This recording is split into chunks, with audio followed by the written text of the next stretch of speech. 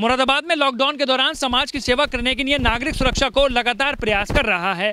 मुरादाबाद की कई बस्तियों में पहुंचकर जरूरतमंद लोगों को खाना पहुँचाने के लिए काम किया जा रहा है। नागरिक सुरक्षा कोर के चीफ वार्डन और डिप्टी चीफ वार्डन हाजुन हाजी नजमुल इस्लाम का ये कहना है कि नागरिक सुरक्षा कोर के सभी पदाधिकारी के सहयोग से और कई निर्यातकों के प्रयास से जरूरतमंद लोगों को खाना पहुँचाने के लिए लगातार काम किया जा रहा है। जनपद मुरादाबाद में चौदह दिन का लॉकडाउन होने के बाद पुलिस प्रशासन द्वारा मुरादाबाद जनपद में सभी जरूरतमंद लोगों को खान पान की सामग्री वितरित करने के लिए लगातार प्रयास किया जा रहा है। मुरादाबाद जनपद में जरूरतमंद लोगों को खान पान की सामग्री पहुँचाने के लिए सामाजिक संस्थाओं के साथ नागरिक सुरक्षा कोर के पदाधिकारियों द्वारा कई महत्वपूर्ण कदम भी उठाए गए हैं और लगातार जनपद मुरादाबाद के सभी मलिन बस्ती और ग्रामीण क्षेत्रों में पहुंचकर जरूरतमंद लोगों को खान पान वितरित किया जा रहा है। नागरिक सुरक्षा कोर के chief warden Haji Akram Shamsi, deputy chief warden Najmul Islam एवं अन्य भोला सिंह की मिलक में पहुंचकर सभी ग्रामवासियों को खान पान की सामग्री वितरित कराई गई। नागरिक सुरक्षा कोर के पदाधिकारियों का कहना था कि लगातार शहर में जब से लॉकडाउन है, तब से हमारे प्रयास यही हैं कि मुरादाबाद के प्रत्येक क्षेत्र में पहुंचकर जरूरतमंद लोगों को खान पान की सामग्री वितरित किए जाए, जिसमें नागरिक सुरक्षा कोर के पदाधिकारियों के साथ निर्यातकों का भी भरपूर योगदान है।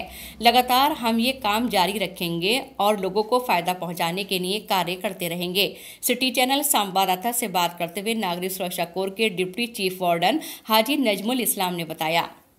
कार्यक्रम कर रहे हैं। देखिए सिविल डिफेंस की तरफ़ से chief warden deputy chief warden का एक प्रोग्राम था। आज खाना भोजन वितरित करने का भोला सिंह के मिलन आपने यहाँ देखा होगा कितने लोग लाइन में लगे हुए थे और जितना हमारे पास भोजन था वो हमने सारा वितरित कर दिया और हमारे सहयोगी सब जो साथ में खड़े हैं उनका पूरा सहयोग रहा। कब तक रहेगा आपका ये कार्यक्रम? जैसे कि आपको विदित है मैंने चौदह तारीख तक की बात की थी चौदह तारीख तक मेरा ये प्रोग्राम चलता रहेगा। और मेरे पास जो कच्चा राशन है उसका भी वितरण मैं कल से कर रहा हूँ। कहाँ ज़रूरत है वहाँ आप देख रहे हैं कहाँ कहाँ क्या क्या है? देखिए मैं रात को कई चिन्हित करता हूँ जगहें जैसे कल के लिए मैंने 80 लोगों का परिवार एक चिन्हित किया है करूले के ऊपर। वहाँ पर 80 परिवार है, उनको भोजन की ज़रूरत है। मैं कल वहाँ वितरित करूँगा और मैंने कई गाँव इसी तरह से चिन्हित किए हैं। मैंने आज देखा कि बहुत ही सख्त ज़रूरत है यहाँ पर भोजन की और मैं सभी से उम्मीद करता हूँ कि जो भी एन हैं, जो खाना बांट रहे हैं, वो कहीं गाँव में भी देखें जा जाकर। मेरा सभी से अनुरोध है कि वहाँ पर भी बहुत लोग इस तरह से हैं तो उनको खाने की ज़रूरत है। दूसरी बात, मेरी सभी लोगों से गुजारिश है शबरात के मौके पर सब लोग अपने घर में इबादत करें।